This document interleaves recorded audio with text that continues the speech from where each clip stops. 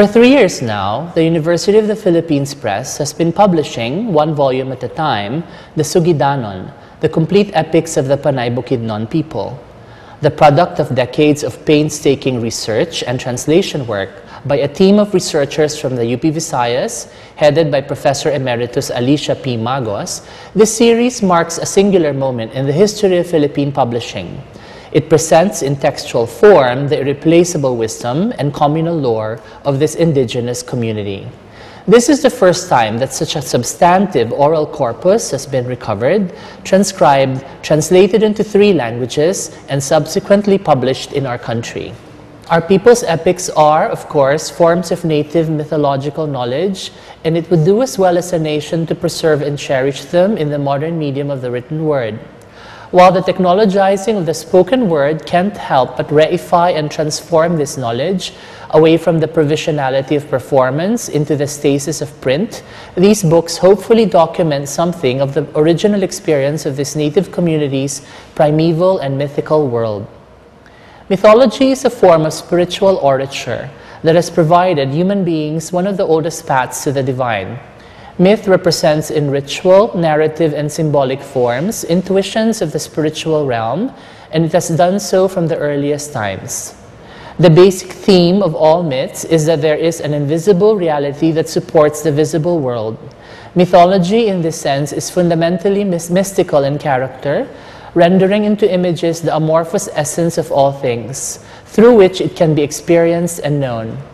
We may then see myth as a creative and imaginal field whose referent in the ultimate sense is transcendent.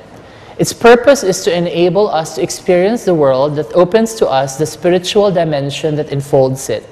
Myths make us realize the mystical presence in everyone and in everything, for according to their deepest insight, we have all been poured out of the Creator's eternal self.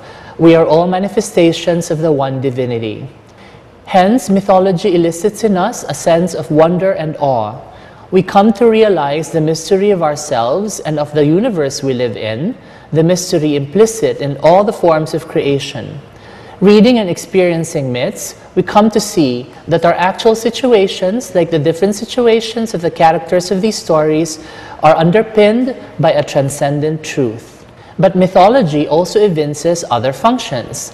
Like science, myth describes for us the various shapes and textures of reality. Unlike science, however, it more easily accedes to the realization that what is real is ultimately unknowable. And then we may also say that myths serve a didactic or pedagogical purpose as well. They provide individuals residing in their specific communities guides or manuals on how to live under whatever conditions. Finally, myth also serves to legitimate the social order as it exists. It's in this sense that myths are culturally bound as well as place specific. They are entirely the products of their own time and circumstance. The problem of literalism is precisely its reduction of myths to this literal level, this sociological function to the neglect of everything else. By contrast, the moment we understand that our stories about God are myths, the moment we see that our religions proffer not literal truths, but rather symbolic and spiritual ones, then our faith can be set free from the cultural prisons of fundamentalist ethnocentrism and literal mindedness. The comparative study of myth makes us see that the various myths, actually all religions, are at once false and true. False because what they give us are mere symbolic images or metaphors which by definition cannot be facts, cannot be literally true, but true precisely because these very same metaphors gesture toward the one transcendent mystery. All these insights are in full and splendorous evidence in the Sugidanon, which are descriptive not so much of the Panay Bukidnon's everyday physical reality as expressive of their aspirations, chiefest of which is the vision that not only recognizes duality, but also and more importantly yearns to transcend it. Indeed, in these stories, the sky world and the earth world are not divided, but actually interpenetrate one another. They're creatures freely trafficking across the non absolute and proximal realms of the present and the non present, either the past or the yet to be, as well as the abodes of the deities and supernatural forces and of ordinary people. Resurrection bridges the chasm between the living and the dead, and because time in this world is experienced as a cyclical seasonality, it happens over and again in these heroic tales. Even the distinctions of gender and enmity prove to be typically mutable. Femaleness shifts into maleness if it must, and the enemy or the other is actually inextricably part of the same, is even, shockingly, its blood relation, if only you allow yourself to look more closely. These plot twists happen in these epics to precisely confound and finally collapse these onerous binaries. Finally, evil can be good too, once you intuit past the surface of the apparent into the hidden and implicit depth. We may, for example, think of the villain, the monster woman Amburukai, from the series' second book, whose actions emerge entirely out of her maternal benevolence. In like manner, there's really no conflict between the body and the spirit, as can be intuited from the way these stories perceive and present the truth of human sexuality namely that it is nature's entirely beautiful, indeed its preciously fleecy and altogether golden gift. Astonishingly, this sex positivity is an insight that we may glean from the story of the theft of the luminous and beloved strand of grisly hirsuteness, a violation that actually gives this villain her own memorable hero's journey, consisting of a ritualistic and genitally self-flagellating quest to regain her sacred treasure, as well as inaugurates the journey of one of the Sugidanon's primary protagonists. Moreover, in the first two books of this series, we can see the mythical motive of the one forbidden thing that resonates with the story of the Edenic garden and its mortally fateful tree. In the first book, Tikum Kadlum, the Datu's enchanted black dog warns his master against cutting down the sacred bamboo in the middle of the magical forest. In the second, Labao Donggon's parents warn their son not to carry out his plan to steal the forest hag's glittery pubic hair, to use as a replacement for the broken string of his heirloom guitar, for such an act would surely bring about disaster. Of course, the moment something is explicitly forbidden in a myth, we can expect it to be transgressed, for this is precisely how the plot of powerful stories, ancient as well as modern, may be said to unfold. Then, as now, a perfect paradise has little or no narrative interest. The stasis and equanimity of the ordinary world will need to be disturbed if the heroic journey should commence. Perhaps the most interesting idea in these epics is that of the tuos or sacred pact, embodied in this preliterate world, not in any written contract, but rather in actual tangible things that are thereby invested with spiritual potency and incalculable worth. In the absence of writing, this ancient and oral people found a way of indicating and pinning down memory through the worldly objects that signified beyond their physical forms and whose radiance suffused their everyday existence. Most certainly, the act of investing meaning into their world was of a piece with this people's reverential attitude toward nature that they knew was animated by the same spirit dwelling inside themselves. It's important to remember that written words are signs as well, except that they have the tendency to stand apart from creation which isn't the case with these natural and meaning-endowed objects, which abide fully inside their natural context, even as they come to embody realities that refer to truths glimmering beyond their shapes. Given this form of mystical mnemonics, we are reminded of the psychodynamics of oral consciousness, which is situational, sympathetic, and participatory, rather than abstract and individualistic. Moreover, evident in the language of these epics is the fact that oral thinking is, in the words of the historian Walter J. Ong, immediate, practical, close to the life world, and at once copious and voluble. Which is to say, the plenitude of their adjectives, epithets, and thought pictures helps keep the listener focused and attentive on one hand, and on the other, the structure of their epic utterance, as with other examples of folklore, rests on additive and iterative sentence patterns. Obviously, these exist for the purpose of easier recall, represented best in the Sugidanon's ritualistic formula, where we ended was where we paused. Of course, what these self-same qualities finally tell us is that oral cultures are living and dynamic social formations in their own right. Despite being pre-analytical, orality is a mode of consciousness that is eminently capable of generating as well as nurturing its own profound forms of thought. In fact, the ideas of harmony and unification between humanity and nature or the worldly and the divine on one hand, and between the conflicting interests of different groups of human beings on the other, are priceless bequests that these stories would seem to particularly wish to offer us, especially now that they have been transcribed, textualized, and translated, and therefore made newly abstract and categorical. In the face of a fractious and divided country, these are insights that Filipinos all need to embrace and to champion more and more. This is especially true now when so many of our Lumad brothers and sisters in Mindanao are being imperiled by militarization and armed insurgency.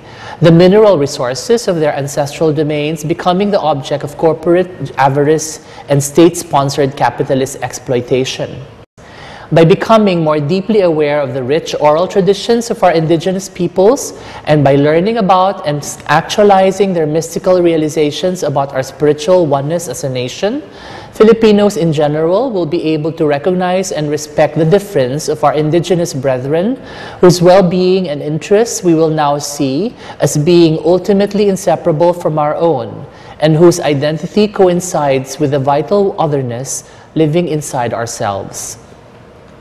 These epics remind us that we were all lumad once upon a time because of their enduring value as gifts of the creative imagination through which empathy or solidarity becomes possible and may finally be realized as a collective truth, the Sugidanon also tell us that right in the marrow of our mythic bones, despite the epistemic violence and ruptures of our history, the luminous chant still croons that we are lumad still and all. There are a number of pedagogical opportunities being offered by these myths, particularly in relation to the teaching of literature in our schools. I am thinking in particular of the deployment of creative writing strategies in the teaching of literature courses, especially in the high school and early college levels. Insofar as a literature course is ostensibly about the activity of reading and understanding literary texts, we might wish to consider how we, as literature teachers, can best instill the love of reading in our students. Whatever the language of instruction, in teaching the short story, for instance, we might now consider taking our students through the process of storytelling by not simply enumerating its elements, but by letting them experience these on their own. With our guidance, they can make up plots, think up characters and dialogue, imagine settings, play around with point of view, contemplate ideas or themes. In teaching poems, on the other hand, the teacher might wish to end or emphasize certain lessons with a poetic exercise that may or may not eventuate in the writing of a poem, but at least presents a demonstration of certain poetic skills. Poetic description or metaphor making, for instance, the correct use of other figures of speech, or even an illustration of certain rudiments of versification. In short, we can encourage students to tell stories. For yes, poems also tell stories by way of imagery and figurative expression. Rather than alienate them from literature, we can enjoin our students to actively participate in its production by writing texts and not merely passively receiving them. After all, creation is the highest form of literary appreciation. A particular activity we may deploy in our classroom is what literary scholars call mythopoeia. This word isn't as scary as it sounds because it simply refers to the creative appropriation of folkloric material for whatever purpose in whichever genre. The Philippines abounds in folkloric sources, originally oral, although a number of them have already been transcribed. There exists an abiding interest in these materials among local readers, as evidenced in the fact that folklore anthologies of myths, legends, tales, riddles, proverbs, epics, and songs are still for decades now the best-selling titles of the UP Press. why we are seeing a preponderance of mythopoeia in contemporary Philippine culture, from films, TV shows, theatrical productions to books, can partially be explained by the cultural simultaneity of Philippine society, where oral and textual, pre-rational and rational forms of knowledge blissfully coexist. The persistence of folkloric, also called superstitious beliefs in an age of global digital information is probably one of the areas in which the syncretism of our local cultures is most obvious. And indeed, young Filipino writers seem particularly receptive to this dissonance and are thematizing it in their works in horror, fantasy, and the speculative subgenres. There are, to my mind, two kinds of mythopoetic projects really aesthetic modes. We may refer to the first mode as ironic, and this treatment is typically exemplified by parodic narratives involving mythological heroes as well as villains. An example that immediately comes to mind is Carlo Vergara's uproariously funny graphic novel, Zsazsa Zaturnnah, whose story implicates both the native belief in amulets and the modern mythos of comic book generated big breasted superheroines. On the other hand, ready examples of earnest mythopoetic work are commonly seen in the fantaserias on primetime television or the heroic fantasy films, mostly historical but sometimes also futuristic. I can say that mythopoetic works, typically as fiction or verse, are being carried out by more and more of our young writers. While some of these works are ironic, the bulk would still be of the serious or even poetic sort. Offhand, I can bring up Mayette M. Bayuga's novel, Sa Amin sa Dagat-Dagatang Apoy, about the libidinal lives of elementals and aswangs who are frantically searching for the last male virgin. Also, Will Ortiz's prospective series of young adult novels, in Filipino as well, about Aya Akiling, an awkward 12-year-old girl who discovers that she is, in truth, the reincarnation of the well-known and beloved nature goddess, Mariang Makiling. Because myths are metaphorical figures for transcendent mysteries, my suggestion to writers who wish to undertake their own respective mythopoetic projects is, first and foremost, to bear in mind that a metaphor being a figure of speech about resemblance and paradoxical unity is composed of two elements, a vehicle and a tenor. While the former is easy enough to identify, we must remember that the latter, being the very heart or message of the myth, is always a matter of interpretation.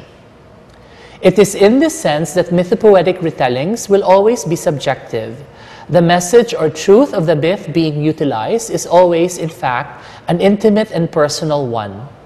It's crucial, however, for the writer to also realize that it is precisely this message that ultimately takes precedence over the contingent vehicle, which indeed can be adapted, revised, rewritten, and transformed.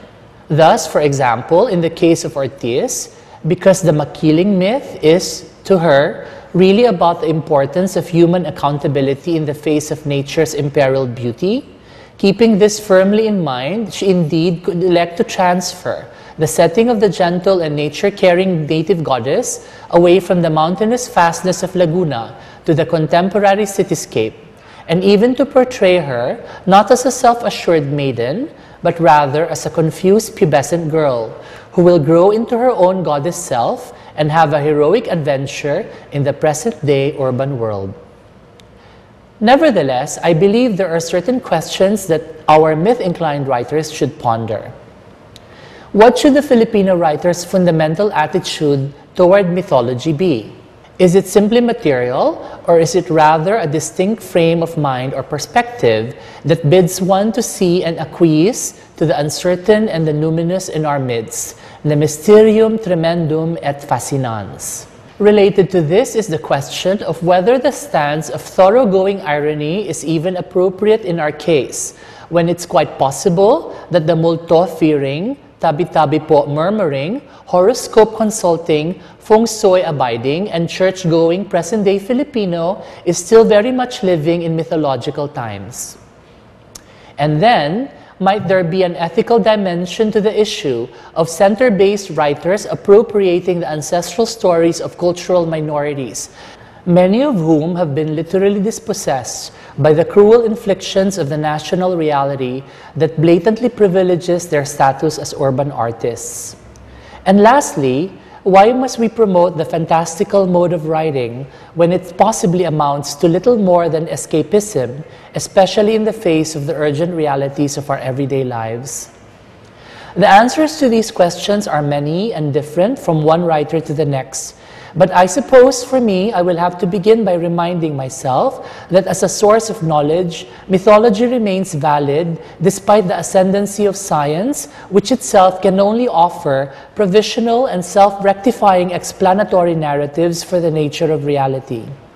As we may have heard, the best and most honest practitioners of science as a method of inquiry acknowledge reality as essentially mysterious still and all. We may think, for example, of the hard problem of consciousness, the qualia, or inner experience that cannot be remotely reduced to the brain's gray matter, the singularity that lies at the heart of the Big Bang, the finely tuned universe, black holes and their event horizons, dark matter and dark energy, quantum superpositions and entanglements, the Planck scale, and all the other imponderables that scientists have been conjuring forth of late. Myth does not really compete with science, for its function isn't primarily explanatory or even descriptive of the physical universe. We can compare the value of myth to the experience of watching a film, which we know to be make-believe, a production that's been captured in a medium and replayed. And yet, the experience elicits an affective response and encourages our playing along with its depictions, thereby eliciting our semi-credulity, a provisional suspension of disbelief and acceptance of the illusion that the movie offers while it lasts. Myths provide guides to, rather than depictions of, the world. As such, they express hopes and aspirations rather than direct representations of reality. Finally, mythology remains relevant in our time because it is intertwined with creativity itself so much so that the former is really the loftiest that the latter can ever wish to become. In other words, all literature, all art finally aspires to turn into myth, for myth is nothing if not narration wielding powerful and transfigurative magic over the communal psyche that invents it, providing not so much explanations as experiences of its innermost depths its uppermost visions, its intuition of the transcendental, without which it would be quite impossible for any of us to grieve, to judge, to love, and be fully a person in this world. I would now like to read one of my mythopoetic engagements, a poem about the creation of the world that comes from the Bilaans of southern Mindanao. In this poem, I try to retell the story of the curious sky god named Melu. Writing it, giving myself over to it, I was surprised to be led into the mythic insight of kenosis, which is to say, a ritual of sacrificial self emptying that proves entirely generative. And the magic in this is the realization that we ourselves enact it each and every time we love. Why must it be strange that a world should spring from an itch? Melu, creator of the Bilaan, was as black as a stone's pure heart. In the first twilight he rose, his eyes and teeth glinting like stars in the horizonless sky. Sensing a gap all over his body, he discovered he desired nothing but to rub himself with his hands. Palm against skin, he scratched and stroked, and flake by sheer flake, the earth drifted away from his shape to gather in a heap below him. As he rubbed and his rubbings fell, he felt himself grow lighter and whiter. Soon he was invisible as air, floating above the crumbled shell of his old self. This story tells us creation is the body, shorn clean of a God's brilliant need for formlessness. We cannot help but wonder as our skins slip past each other in this life, do we not help this first sacrifice to proceed? Its work a sacred duty meant for us all along, out of love or pain, And every time our edges touch, we grind our itchy bodies hard against this world's darkness, praying we too may know light.